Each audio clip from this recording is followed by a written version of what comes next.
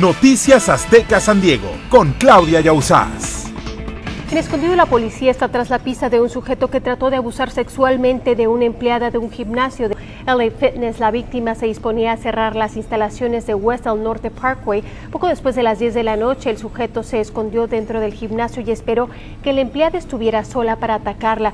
Una vez en el piso, la empezó a atacar y forcejeó con el sujeto hasta que logró escapar y a su vez el sujeto logró huir del lugar. La víctima fue atendida de las heridas que sufrió el atacante, descrito como hispano de entre 35 y 45 años, estatura baja, con sobrepeso, rapado, con un tatuaje de una lágrima debajo del ojo izquierdo y otro más de una cruz en el dedo anular de la mano izquierda analizan evidencias para determinar si un conductor temerario irá a juicio tras chocar a un vehículo y arrollar a una ciclista, quien por cierto atestiguó fue en octubre en la carretera 67. Ella se encontraba en el carril de ciclistas y dice que Douglas Lane quiso ganarle el paso a otro auto en la carretera donde se convertía en un solo carril chocó al otro vehículo y a ella la atropelló al ingresar al carril de ciclistas. Un ciclista murió atropellado en Ramona.